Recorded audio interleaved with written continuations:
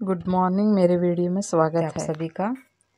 आज Sunday special chicken curry और सादी रोटी बना रही हूँ जो आपके सामने मिनी व्लॉग है ये। ये छोटी सी दो मिनट का वीडियो है। पूरा देखिए इसे। ऑयल गरम करने के बाद जीरा फ्राई करने के बाद कच्चे मिर्ची और प्याज को डालकर भी अच्छा से फ्राई कर ले रही हूँ। ये चिकन करी बनाने के लिए आधा किलो चिकन को धोकर फ्रेश रखा हुआ है। देखिए ये प्याज आधे फ्राई हो गए हैं। अब इसमें डालिए चिकन धुला हुआ साफ़। अब इसको भी एक मिनट चला लेते हैं। तेज़ आँच पर गैस को तेज़ रखें और इसे कंटिन्यू चलाते रहिए कम से कम एक मिनट तक। उसके बाद हम इसमें मसाले, basic red chilli powder, salt हो गया। उसके बाद हल्दी पाउडर डालें। उसके बाद डालिए धनिया पाउडर। यहाँ पे आपको जो भी पसंद है आप डाल सकते हो।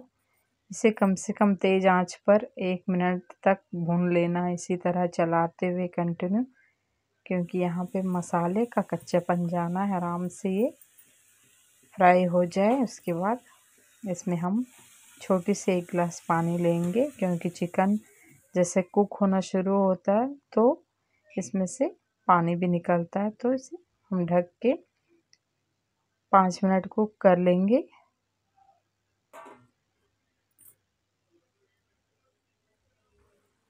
देखिए, कुक होने के बाद अदरक लहसुन का पेस्ट या कूटा हुआ अदरक लहसुन डालें।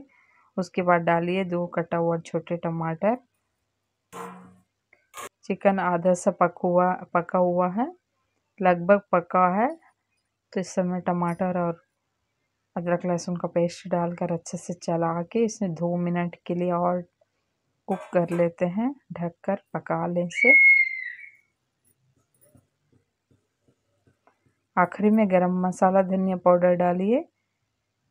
गरम मसाला और धनिया पत्ती डालकर अच्छे से चला ले। चलाने के बाद अब ये रेडी है।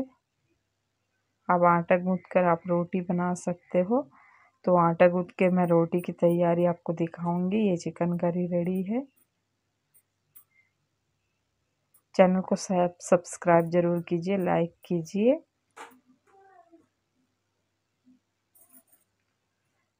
बढ़िया सा चिकन रेडी है। अब रोटी भी मैं बना ले रोटी तो सभी बनाते हैं, देखिए। इस तरह से चिकन और रोटी एंजॉय करें। वीडियो को लाइक, शेयर, सब्सक्राइब ज़रूर करें, फ्रेंड्स। लाइक करना भूलिए मत, ज़रूर लाइक करें। संडे स्पेशल आप क्या बना रहे हो, बताइए कमेंट करके। Thanks for